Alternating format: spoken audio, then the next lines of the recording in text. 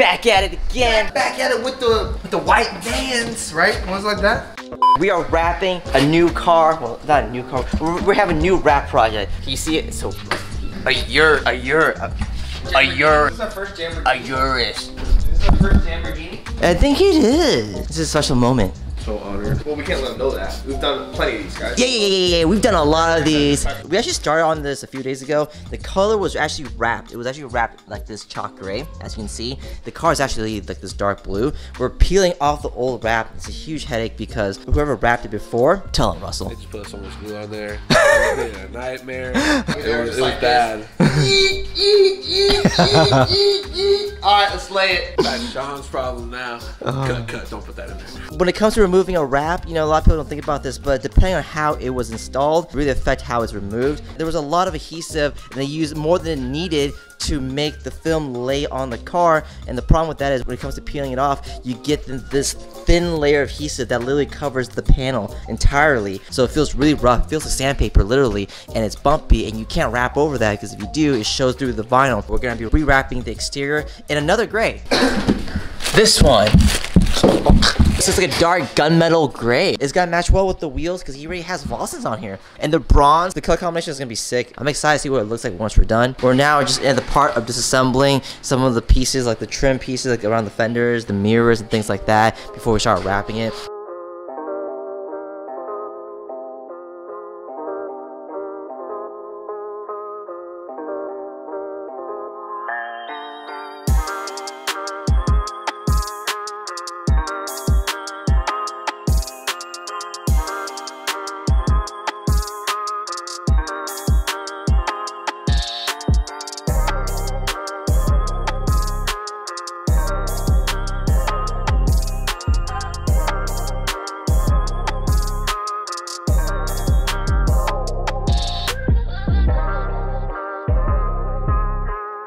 After much glue removal, we got ourselves one of the cleanest wrap projects we've ever done.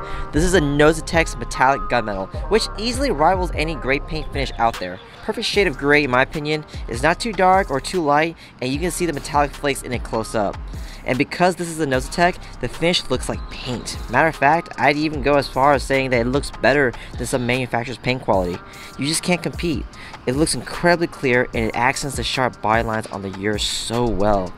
As you saw earlier, we took off a lot of things so seams are far and few so it looks like a Urus that came gray from Lamborghini. Matches really well with the wheels too. Let me know what you guys think of this color and how everything came out.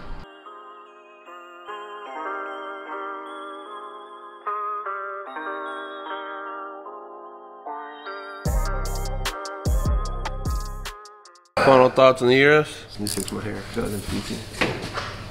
That looks sick.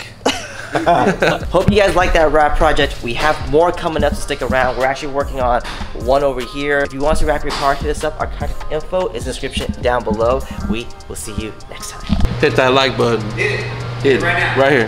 Hit it.